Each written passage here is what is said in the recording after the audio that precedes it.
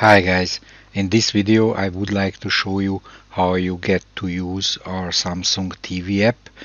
This is the website where you have to register. It's iptvepg.com. This is the main site.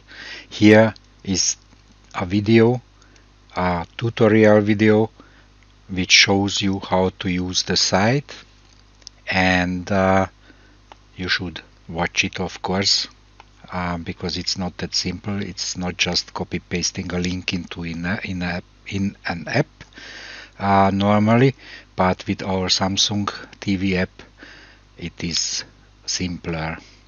So if you registered and logged in, you get to this site. You uploaded your M3U file as shown in the other video, and then you get your own M3U link from us and your XML file from us.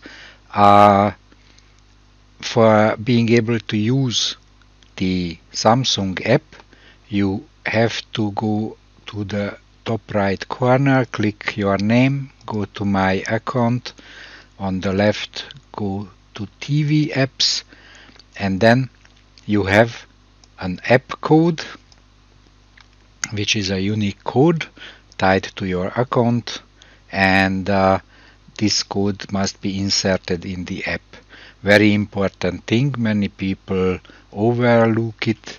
Uh, you have to set your M3U file to visible if you have uh, multiple M3U files but you don't want to have all of them in the app then uh, you have to set those to visible which you want to have in the app. So there are the different links to the apps uh, which we have. The Samsung TV app, the latest version is always under this link for installing it from USB stick on the Samsung App Store. There is an older version because Samsung has a very uh, a long process for releasing updates. Uh, completely unnecessary, but it is how it is so we recommend to install the app always from this link. So um, when you installed the app then you get to this uh, to this uh, screen.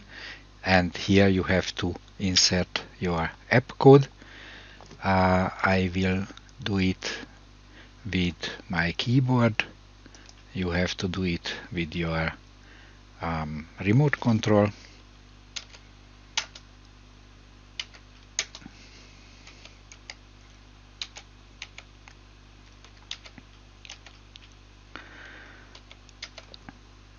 and then we click enter.